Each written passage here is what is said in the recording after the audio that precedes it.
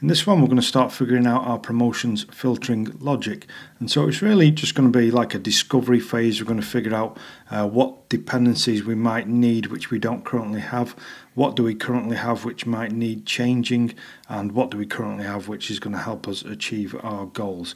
And so I've come up with a handful of steps, uh, which should make it fairly simple to follow.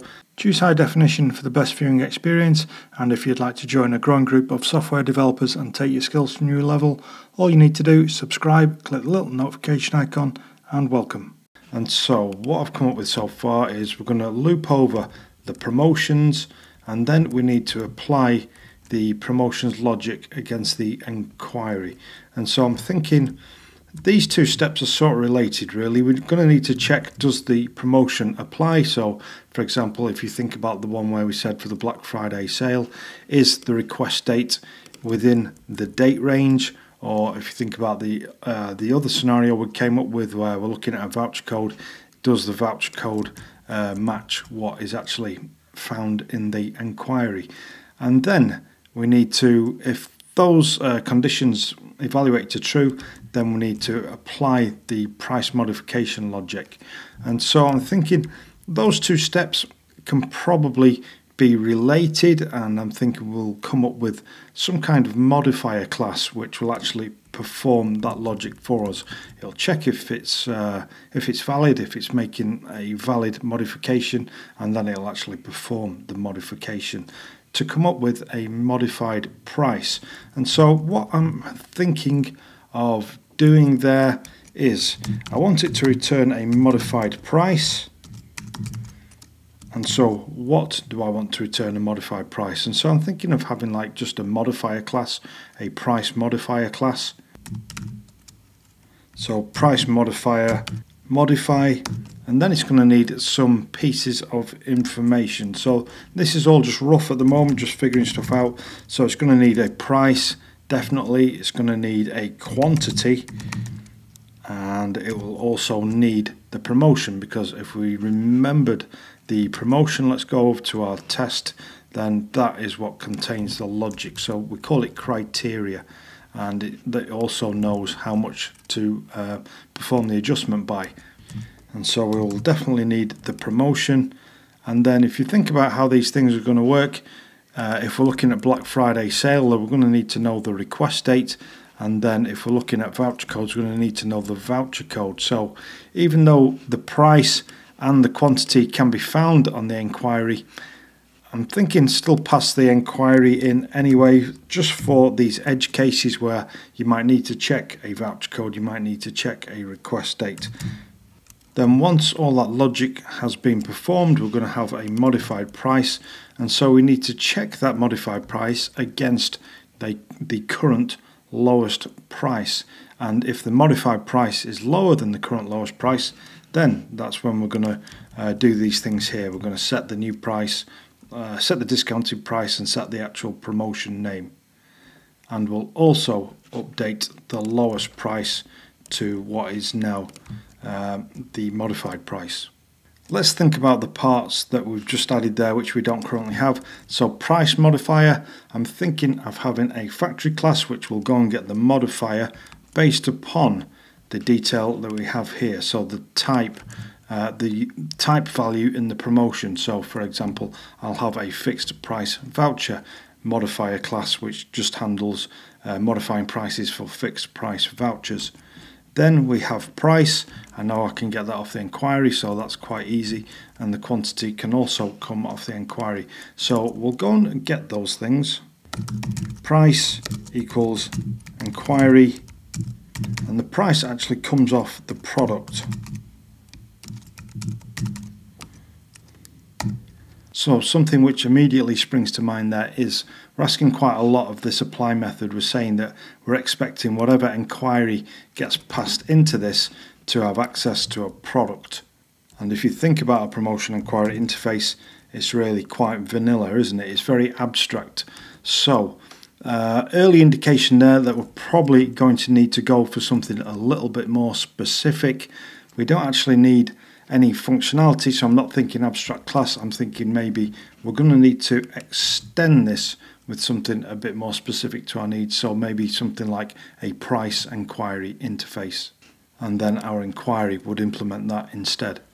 But we'll not get too far ahead on that stuff. Don't think too far ahead. I'm still going to stay fairly abstract. I'm going to look at where I'm at after I've added all the other bits and then make the decision there. Because if I start making decisions early, then it'll reduce my options, I think. So keep your options open. Uh, stay nice and abstract until you be, need, until you definitely know that you need to be more specific and you know more what the details of those specifics are. So let's just keep going for the time being, and we can leave a few sins in there. What I want next is a quantity. So quantity equals inquiry get quantity Again, exactly the same issue we have here. We're saying that we're expecting any inquiry which gets passed in here to have a quantity field. And then what we're going to need to do is we're going to need a starting lowest price. So for the first pass, we're going to need something which needs to be compared against it. What is going to be the starting lowest price? Well, it's actually going to be the quantity multiplied by the price.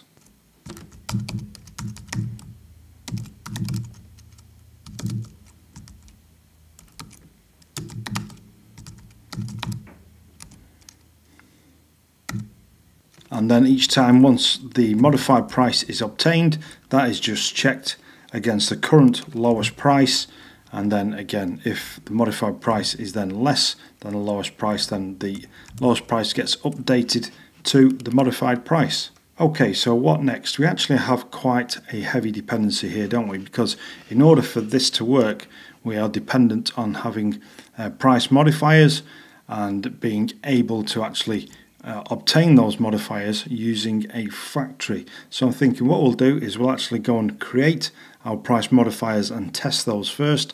So what we're looking at is this. We're going to need one for a date range multiplier, one for a fixed price voucher and one for an even items multiplier for things like buy one get one free, buy one get one half price, that kind of stuff.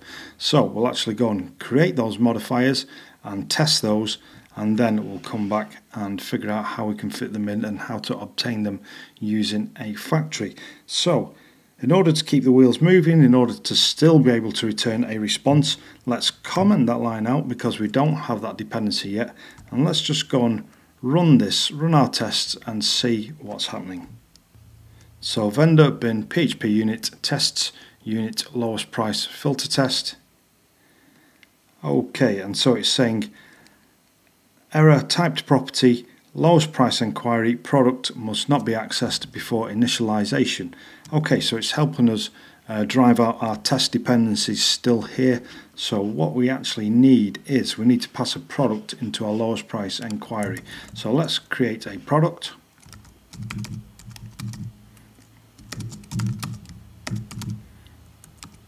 And of course we know that we're going to need a price for that.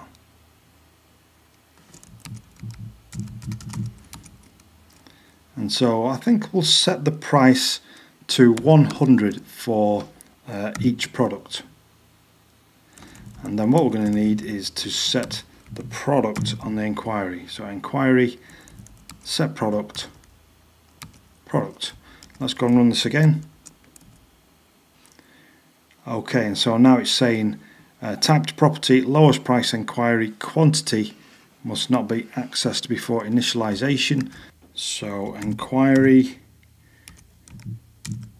Set quantity, we'll set the quantity to 5 and so thinking about this 5 times 100 will be 500 and if we're applying a half price sale the discounted price will now be 250 and so price thinking about this you'd think maybe we should set the price to 500 but really uh, initially I wanted price to mean the price of an individual item so we'll keep that how it is even though it looks a bit strange that the discounted price is actually more than what the price is.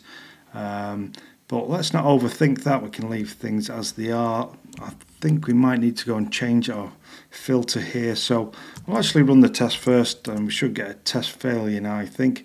So I failed asserting that 50 is identical to 250 so we're not actually getting any errors saying that we don't have parts now. This is actual a test failure. So all I need to do is set the discounted price to 250 and this should be a green, I think.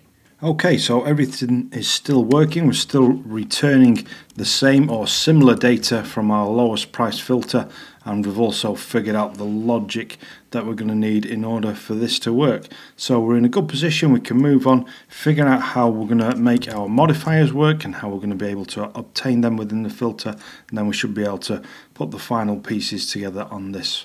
If you've enjoyed this video and you'd like YouTube to show you more of my content, all you need to do is subscribe and click the notification icon.